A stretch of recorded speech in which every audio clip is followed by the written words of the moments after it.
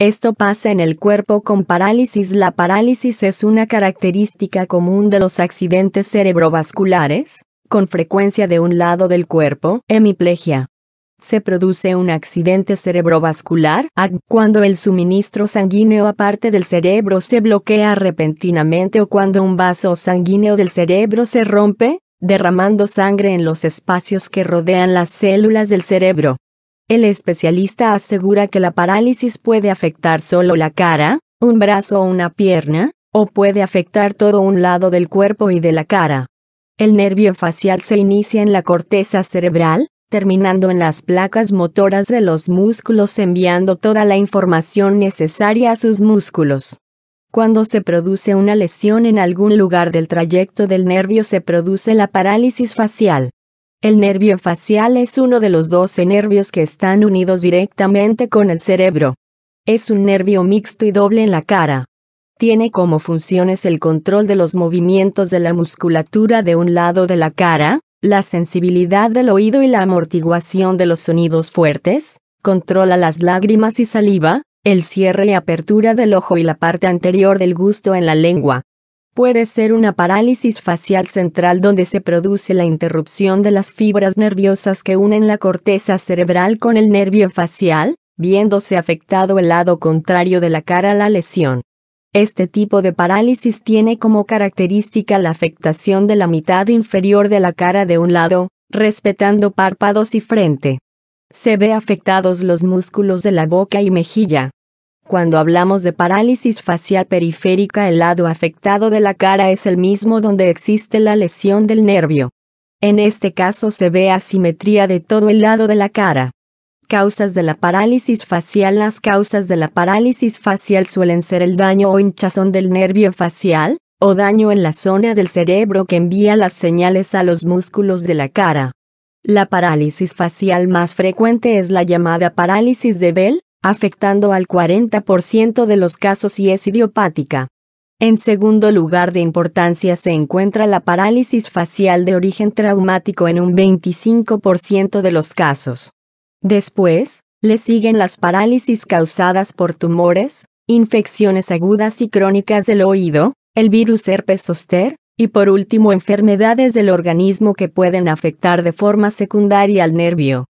Parálisis facial idiopática La parálisis facial idiopática también llamada parálisis de Bell ocurre en el 40% sin importancia del sexo de la persona.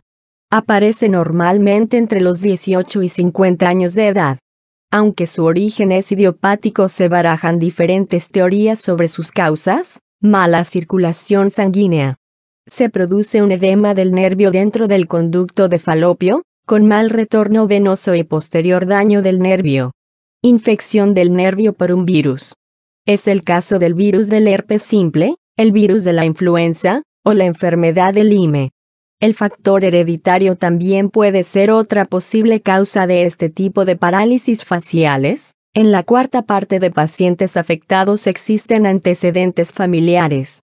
Este tipo de parálisis se produce de forma aguda y brusca, siendo las primeras 48 horas las más importantes.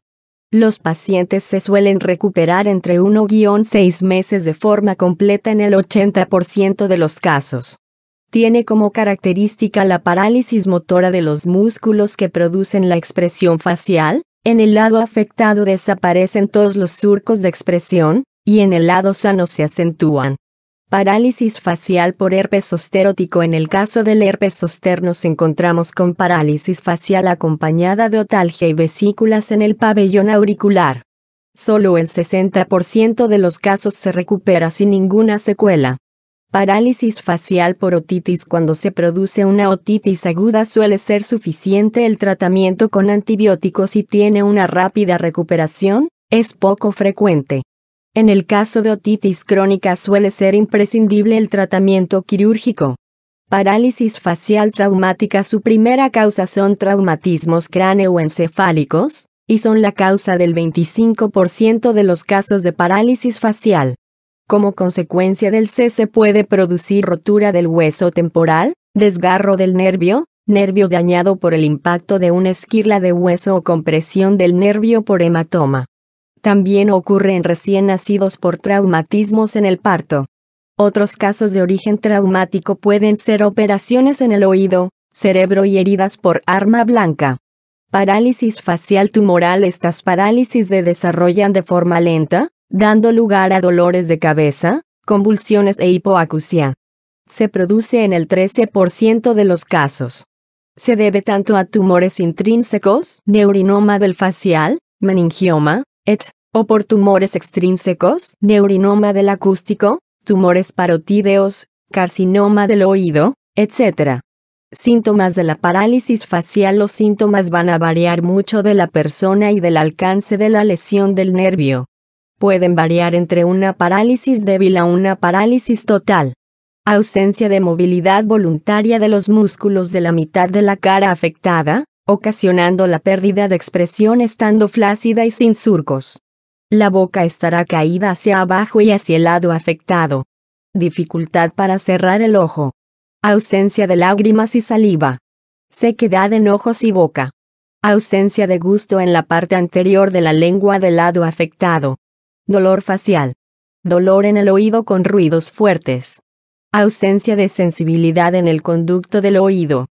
Todos estos síntomas van a producir grandes problemas en la calidad de vida del paciente, como dificultad para comer y beber, dificultad para hablar y expresar sus emociones.